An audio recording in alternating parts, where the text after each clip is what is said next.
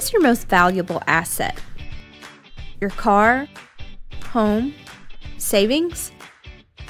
If you really think about it, your most valuable asset is your ability to earn an income. Short term disability insurance replaces a portion of your income during a disability, which could last up to 26 weeks.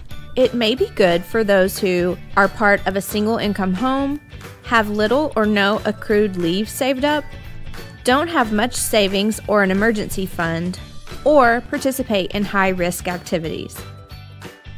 Meet Jane. Jane is married to Bob. They have two children, a beautiful home, and two cars.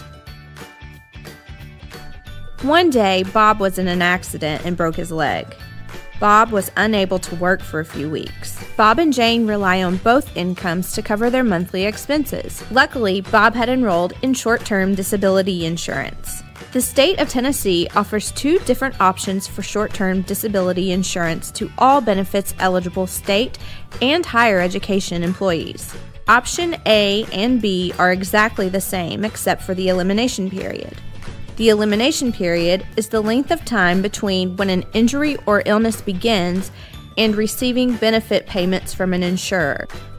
Here are some important facts to keep in mind if you are considering short term disability insurance.